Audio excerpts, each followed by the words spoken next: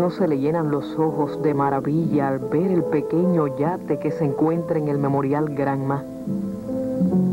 Este es el mismo yate que condujo al comandante en jefe y sus 81 compañeros desde el puerto mexicano de Tuxpan hasta las costas cubanas.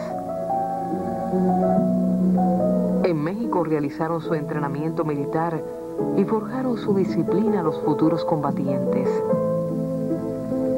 Este anteojo P-26 fue utilizado por Fidel para comprobar los resultados de los ejercicios de tiro. Era como si a través de ellos vislumbrara el futuro de la nación cubana. Días funestos mediarían aún.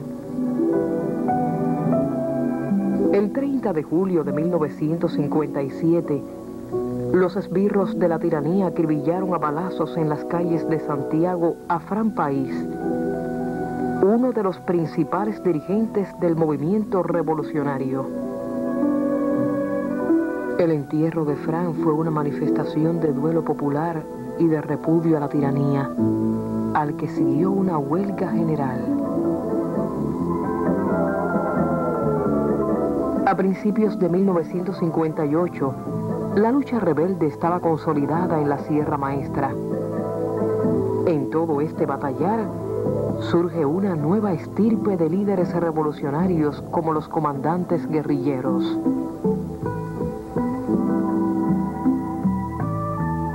La creación de estos frentes guerrilleros en la sierra demostró que el avance de las fuerzas revolucionarias era incontenible.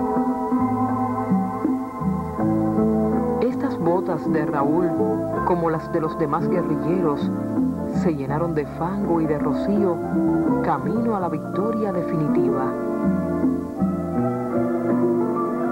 La invasión será llevada a cabo por las columnas guerrilleras dirigidas por los comandantes Ernesto Guevara y Camilo Cienfuegos, los cuales por órdenes de Fidel extenderían la guerra a todo el territorio nacional.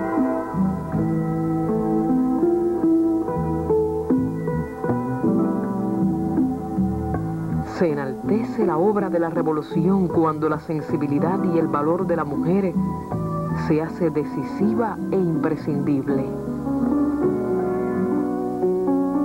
Sayuelas similares a esta fueron empleadas por las combatientes para trasladar armas y municiones. Esta muñeca fue utilizada por una mensajera del Che para trasladar documentos importantes.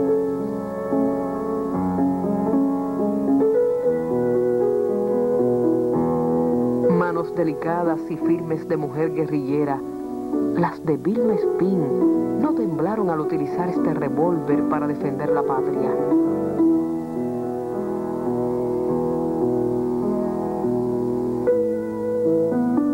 Su camisa verde se funde con el follaje de la mariposa.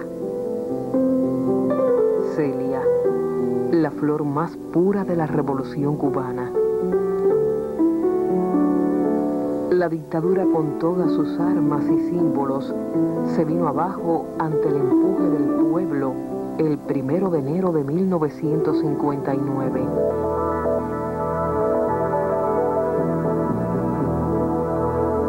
Desde Santiago de Cuba partió la caravana de la libertad, encabezada por Fidel. Un clamor de pueblo los acompañaba.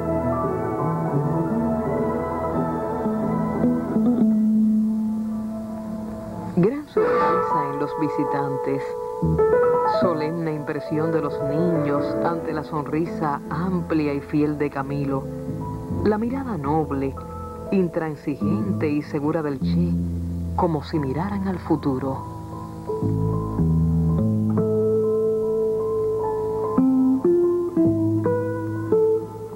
Cuando se es leyenda guerrillera, no es difícil maravillarse con cada objeto que les perteneció. Que llevó puesta Camilo en la invasión y la bufanda que usó durante la campaña de las villas.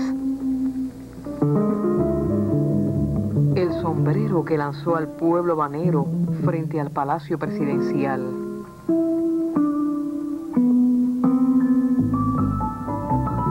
la carabina del combatiente.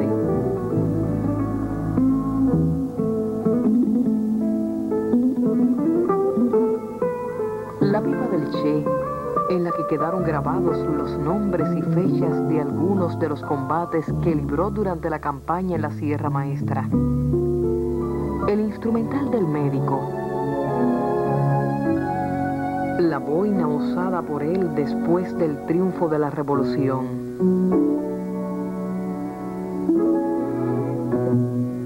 Estas botas calzaron a Fidel durante los años iniciales de la revolución. Con ellas dio los primeros pasos para la edificación de un proyecto emancipador sin precedentes.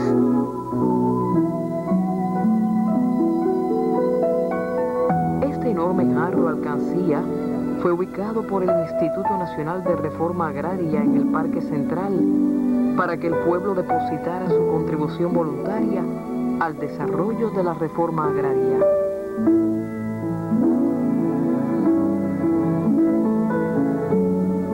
Aquí descansan el maletín y cinto utilizados por Conrado Benítez cuando alfabetizaba.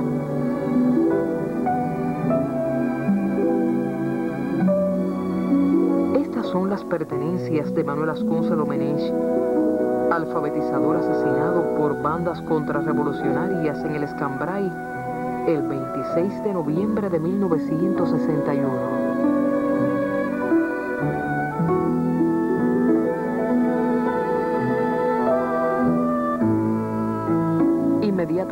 Se integraron los batallones de milicianos para eliminar el bandidismo principalmente en la Sierra del Escambray, que se convirtió en un foco de alzados, alentados y financiados por Estados Unidos.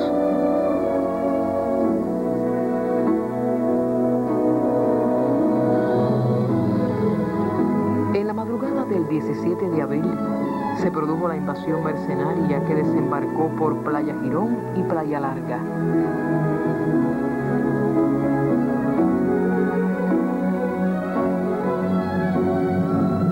gobierno yanqui y los mercenarios no tuvieron en cuenta la unidad indisoluble entre el pueblo y su revolución y la capacidad táctica de Fidel Castro y de la dirección revolucionaria.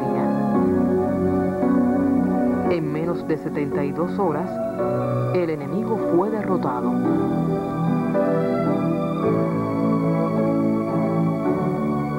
Todo un pueblo se volcó a las nuevas tareas de la revolución con sus líderes al frente. Lázaro Peña, con su ejemplo y capacidad organizativa, desempeñó importante papel en el movimiento de brigadas millonarias.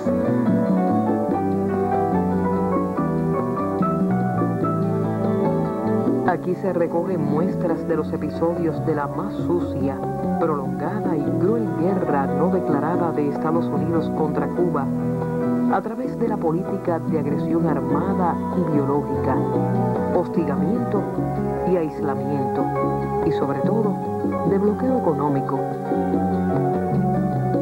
La linterna del general de brigada Raúl Díaz Argüelles alumbró su paso por Angola donde cayó heroicamente y su brújula eternamente marcará los puntos cardinales del internacionalismo.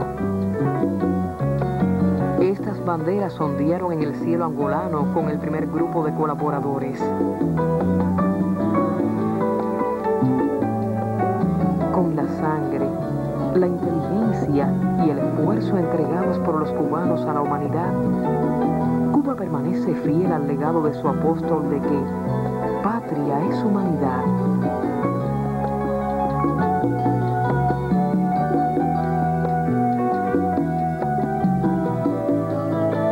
Cada objeto atesorado por el Museo de la Revolución se abre a la luz para contar una parte de la historia de nuestra nación que desborda hacia otros horizontes para llevar el resplandor de las transformaciones en las ideas y en los hombres.